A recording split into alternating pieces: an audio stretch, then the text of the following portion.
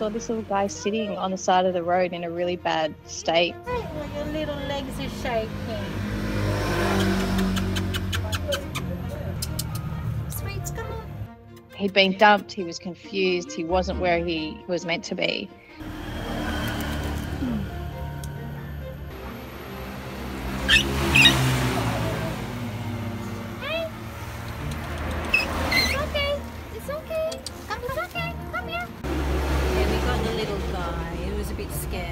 Got him in the car, and you can see he's pretty broken.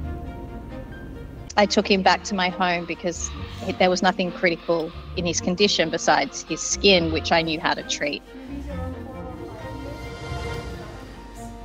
He had really long nails, which was an indication he'd actually been in a cage. So, obviously, coming out of that situation is a benefit.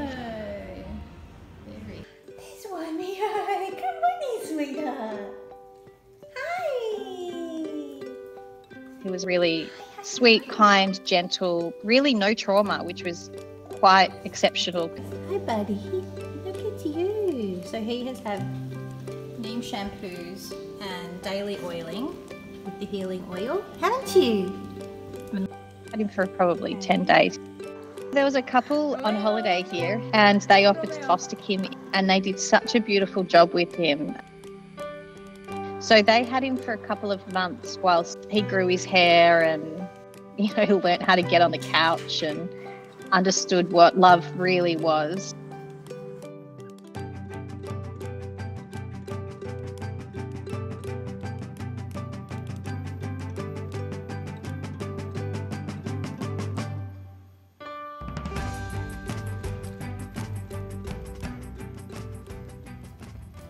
Then what we do is once their hair's grown back and they're a lot more dog looking, we do their photographs and then promote them online. And that's when Tommy applied and he's a pure heart animal loving human.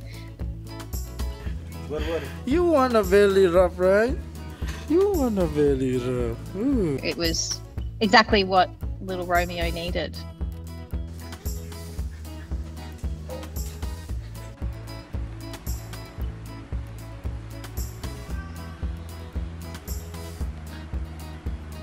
I think what made Romeo special is the willingness to just to love again and to accept it and forget about his past traumas and really just live in the moment now.